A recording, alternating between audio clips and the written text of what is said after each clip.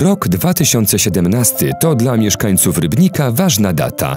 Rusza bowiem budowa drogi Racibórz-Pszczyna. Droga ta będzie posiadać klasę GP, czyli drogi głównej ruchu przyspieszonego, na której będzie obowiązywało ograniczenie prędkości do 100 km na godzinę. Obecnie, by przejechać ze zjazdu z autostrady A1 do ulicy Wodzisławskiej, potrzeba kilkudziesięciu minut.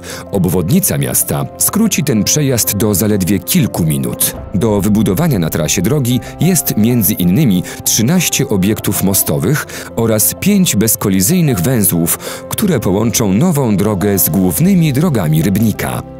Rybnicki odcinek dwujezdniowej drogi o dwóch pasach ruchu w sumie będzie liczył ponad 14 km, a obecnie trwa budowa pierwszego odcinka o długości 10 km i 221 metrów. Wartość projektu to rekordowe 433 miliony 700 tysięcy złotych i jest to największa inwestycja drogowa w historii Rybnika.